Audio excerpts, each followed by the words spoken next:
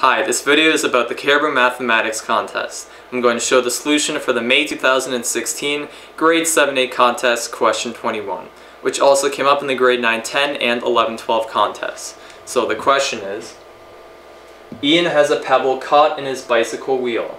If Ian is riding his bicycle at a constant speed of 10 kilometers per hour, 1. What is the speed of this pebble when it's at the top of the wheel in relation to the ground? And 2.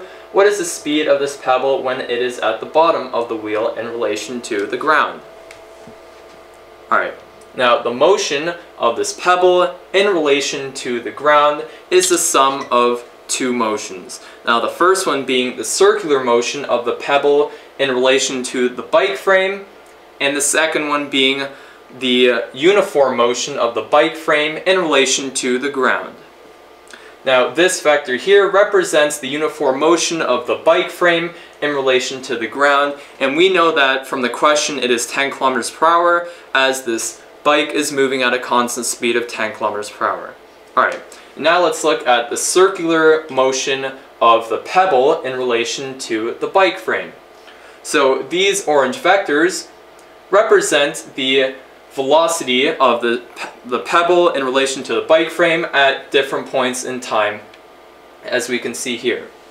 Alright, now the lengths of the vectors are constant, and which means that the absolute value of the velocities is also constant, and only that the direction changes for this vector. So you're left, up, right, down, and so on.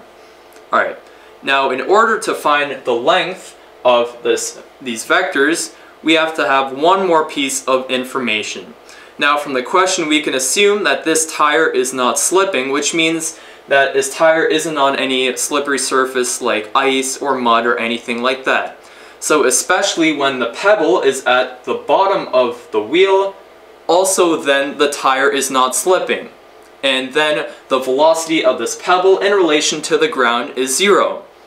So that means the sum, at this point in time, the sum of this vector and this vector must be zero.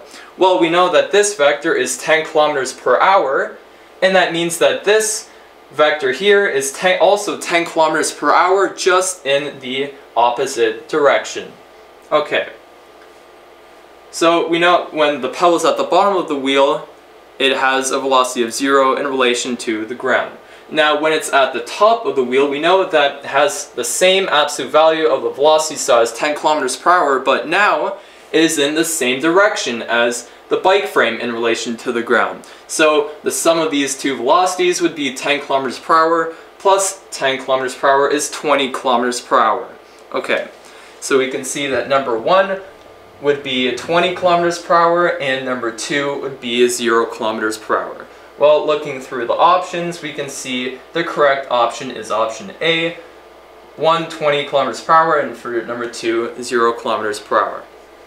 Alright, now the key to solving this problem is realizing that the complicated motion of the pebble in relation to the ground is actually the sum of two simple motions, and the first one being the pebble's circular motion in relation to the bike frame, and the second one being the bike frame's uniform motion in relation to the ground.